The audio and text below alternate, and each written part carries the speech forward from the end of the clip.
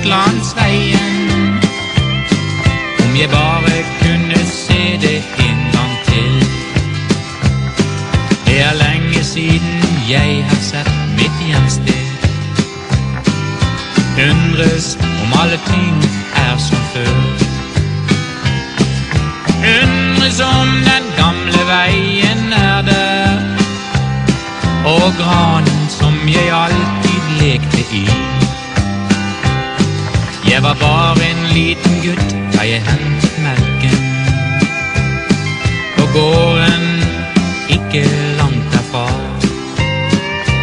Det var bare rundt haugen, over flaten og ned bakken.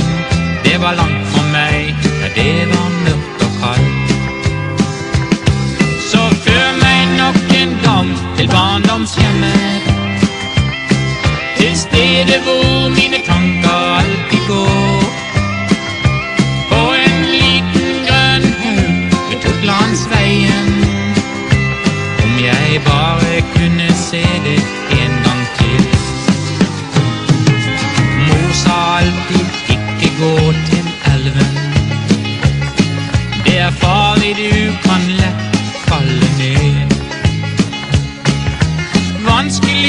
det og la det være.